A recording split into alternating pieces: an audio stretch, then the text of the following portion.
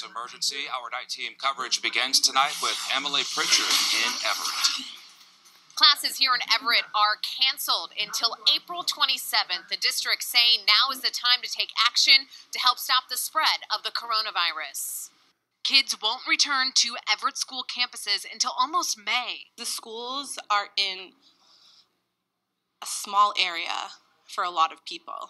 And the governor, the CDC, and the DPH have stated that people in a small area with more than 100 people should not do that. The district closing schools for 30 days. That's the longest cancellation in the state. On the parents, excuse me, because they, you know, they have to make arrangements and stuff like that. But I think everything's being done for a reason, and hopefully, maybe in a couple of months, this thing will blow over and people will get back to their normal lives. Thursday was the last day for two weeks you could get business done inside Everett City Hall. It's now closed until March 30th. Many other schools heading into weeks long closures. Wellesley Public Schools closing for two weeks. And it's just kind of crazy how quickly things spread. In Weston, the district says a student is showing coronavirus symptoms, but tests came back inconclusive. Schools there closed through March 18th. I know that there's a lot who are scrambling. In Salem, the high school closed after their principal traveled to France recently, but isn't showing symptoms. And three individuals in the Worcester public school system awaiting test results. Worcester schools closed tomorrow for cleaning. In Berkshire County, nine people have tested positive for coronavirus, but they haven't traveled or had contact with someone infected. There, it's also hit the hospital with staffing problems after employees were put on leave for possible contact with infected people. Governor Charlie Baker declared a state of emergency in Massachusetts, which helps. Under that executive order, to put in place an emergency procedure that will make it possible for licensed out of state medical professionals and nurses to get licensed here in Massachusetts in one day. People are listening to health experts. Stay at home, especially the older people, and you know, don't mingle so it doesn't spread as quick. With City Hall also closed here in Everett, they want to remind people you can do a lot of city business online and you can call 311 if you need assistance. Reporting in Everett, Emily Pritchard, 7 News 19. Breaking news in the coronavirus emergency, the Massachusetts Gaming Commission says someone who tested positive for the virus recently visited Encore Boston Harbor. The commission says the person was at the casino last Thursday but showed no symptoms. Encore says employees who had direct contact with the patient have been placed on paid leave. Coronavirus leading to closures across the country, both Disney World and Disneyland shutting down as the nation deals with the pandemic. Lawmakers, they're promising action. The night team's Eric Kane live in the newsroom tonight with the latest on that, Eric. Kiki, Speaker Pelosi says she has struck an agreement with the Trump administration on a coronavirus relief bill, and an announcement and vote could happen as soon as tomorrow. Now, this news comes as Americans are already noticing the impacts the fight against the virus has had on their daily lives. Major disruptions across the United States as the country grapples with the fast moving coronavirus pandemic. Cities like Seattle looking more like ghost towns, people told to work from home, events canceled nationwide the viral infection bringing down the curtain on Broadway in New York City, now under a state of emergency. And the happiest place and the most magical place on Earth not immune to the rippling effects as both Disneyland in California and Disney World in Florida shut down. The uncertainty sending markets into a nosedive yet again. The Dow seeing its worst day since 1987, losing 10%. Amid the turmoil, President Trump urged calm from the White House. It goes away. It's going away. We want it to go away with very, very few deaths. Uh, people have, uh, you know, we call it cases. How many cases do you have? Well, relative to other countries, we have very few cases. Relative to certain of the of the major countries that really have a bigger problem than uh, us. But the United States has fallen behind other countries in aggressively testing for the virus. It is a failing. I mean, let's admit it. The okay. idea of anybody getting it easily the way people in other countries are doing it, we're not set up for that. Do I think we should be? Yes, but we're not. Federal health officials say widespread testing should be available within a week. Colorado already ahead of the curve with dozens of people waiting up to four hours Wednesday for drive through testing. The virus reaching to top levels of world governments. Canadian Prime Minister Justin Trudeau self isolating after his wife tested positive for the disease. And a Brazilian press secretary who met with President Trump over the weekend has tested positive for the coronavirus as well. The White House insists the president had little interaction with the official and doesn't need to be tested. And beginning tomorrow at midnight, the United States will suspend travel from 26 European countries. The United Kingdom is not included in that ban. Americans, though, will still be able to return home, but there will be new screenings when they come back. In the newsroom, Eric Kane, 7 News 19. The NCAA's uh, men's and women's basketball tournaments canceled because of the coronavirus. The organization also calling off all remaining winter and spring college sports.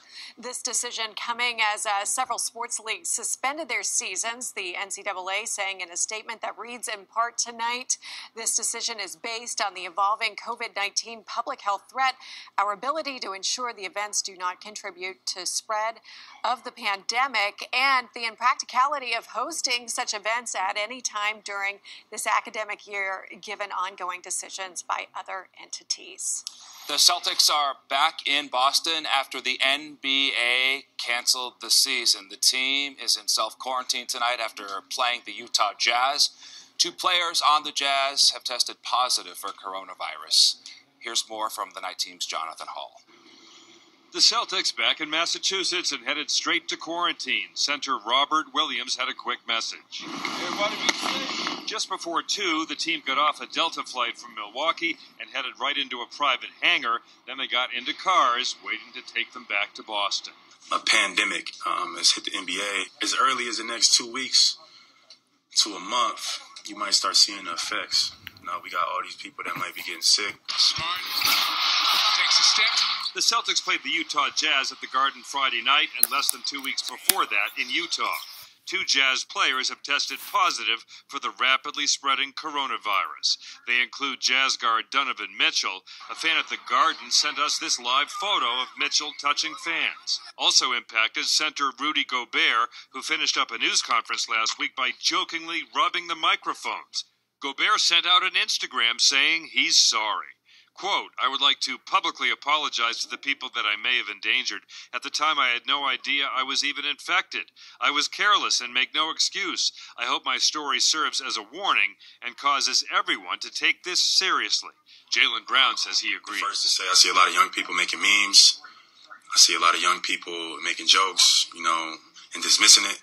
Maybe you might not be affected by it, but somebody else that you probably know will. Players touch often in the close of a game. Here, Tatum and Gobert make contact in the Jazz Celtics matchup. As for Mitchell and Gobert, the Celtics say, quote, DPH has advised us that based on those players' health statuses during this period, it is unlikely that anyone from the team came into contact with them while they were contagious. The Utah Jazz practiced at an Emerson College gym during their visit last week during spring break. The college consulted Boston public health officials, and they've been told no immediate action is required at this time. They say employees gave the players their space. The Celtics say all of their players are going to stay isolated through the weekend, and all of them will be tested for exposure to coronavirus. In Boston, at the Garden, Jonathan Hall, 7 News 19. As the Celtics get tested, Governor Charlie Baker is pressuring the federal government to provide more assistance to help with coronavirus test kit concerns. We need much more testing capability, and we need the federal government to help us get there.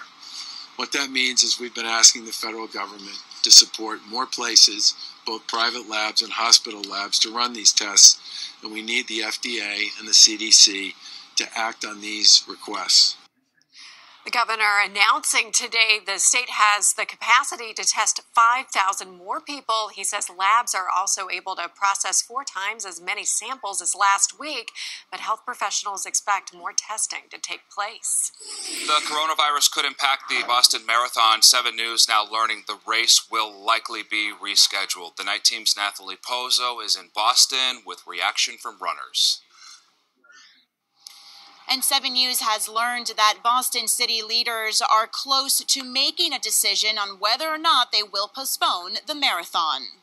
Plans for the Boston Marathon up in the air, but it's not stopping runners from continuing their training. It feels like a goal that was there and is lost. First time marathon runner Maria Kuzi is running in honor of her father, who ranked fourth in the Boston Marathon back in 1980. We still have the journey, we still have what we learned from it, we have each other, the memories we built throughout um, this cycle and we can only hope for the best and stay safe for now. 7 News has learned the race will likely be rescheduled because of growing coronavirus concerns with a possible new date in the fall. Sources say city leaders, along with officials from the other communities along the 26.2 mile route, met Wednesday at City Hall to discuss plans for the marathon that brings in $210 million for the region and 35 million raised for charities. Unfortunately, this is the time when a lot of people are peaking in their training, meaning they're running their longest miles and putting in sort of their longest efforts and hardest efforts. And um, I think it's disappointing, but I think everyone understands for, you know,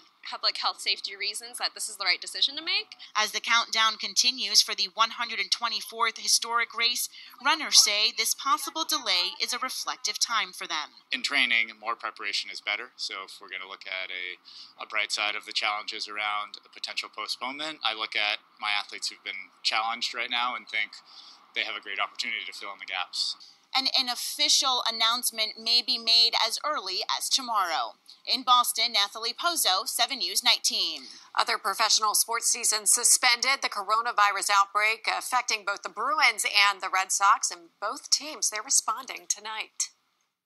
The Bruins get to the 100 point mark before any NHL team. And that's where they'll stay for the foreseeable future, with the NHL suspending their season in response to the spread of coronavirus. Bruins president Cam Neely reacting in a statement, saying, quote, While we are disappointed to have the season put on pause, we respect and support the decision of the NHL. The health of our fans, players, staff, and all of our associates is paramount, and we are hopeful that we can continue the season when it is safe safe to resume.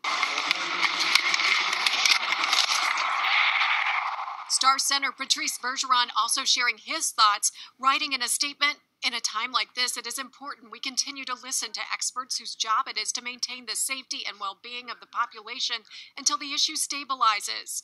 That said, we hope the situation improves soon and we can resume our pursuit of the Stanley Cup.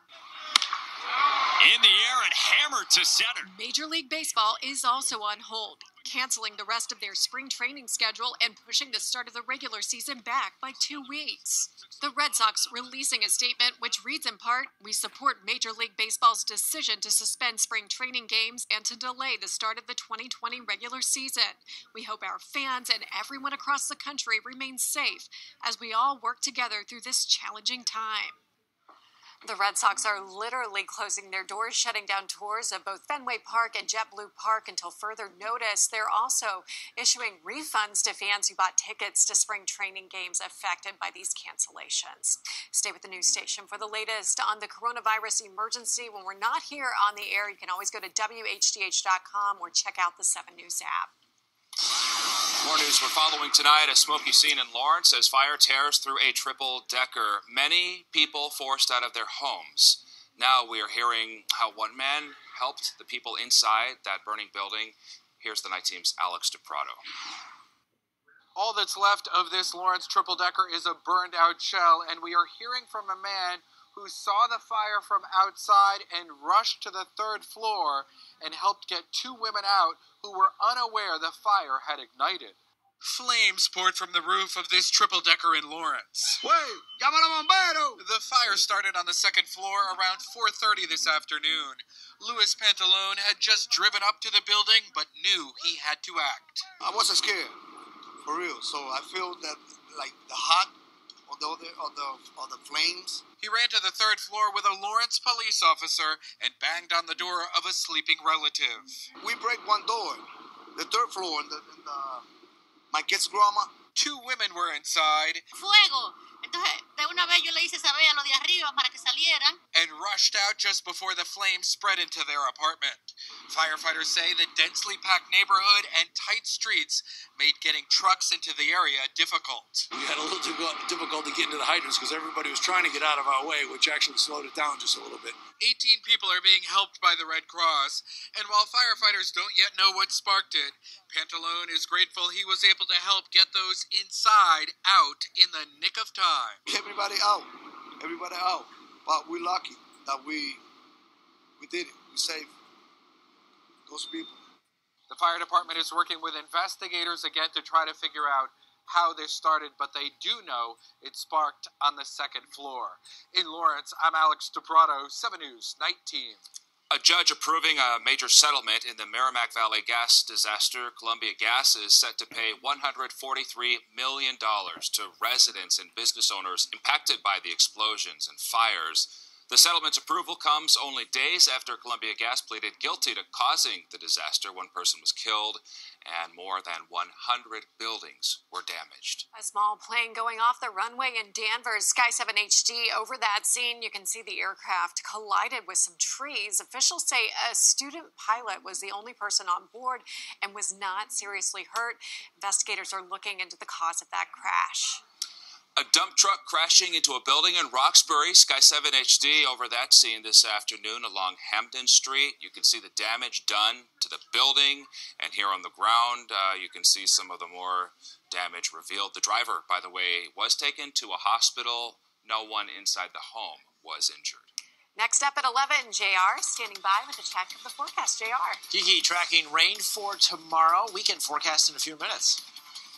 Then an MBTA bus driver running straight toward a burning building. What she did that likely saved lives. And Tom Hanks and his wife Rita is sharing an update after they tested positive for coronavirus. We're back tonight.